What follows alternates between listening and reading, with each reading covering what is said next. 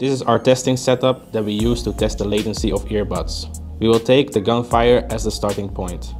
When the microphone picks up the sound, the indicator lights up indicating the ending point of the sound. We are recording this with a high-speed camera. Let's take a look at Cyberblade and check out how it performs in real life. Alright, let's go ahead and calculate how much latency there really is. You can see the gunfire here. This is frame 535, the starting point. The frame where the indicator light just came on is frame 585, the ending point. So we take the ending point and deduct the starting point, which equals 50 frames per second. The original footage is 720 frames per second. So we divide 1000 milliseconds by 720 frames, which equals about 1.388 milliseconds per frame. Now we multiply 50 frames per second with 1.388 milliseconds, which equals a latency of about 69 milliseconds. Now let's take a look at Apple AirPods Pro.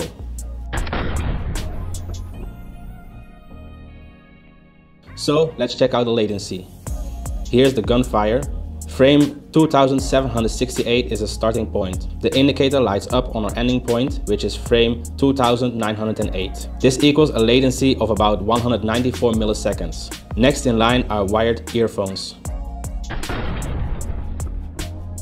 Okay, let's calculate the latency once more. Here's the gunfire. The starting point is frame 5904. The indicator lights up on frame 5939, our ending point. This equals a latency of about 48 milliseconds.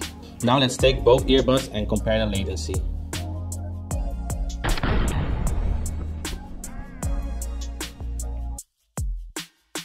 Because wired earphones basically have zero latency, we can use them as a reference to measure delay caused by the system.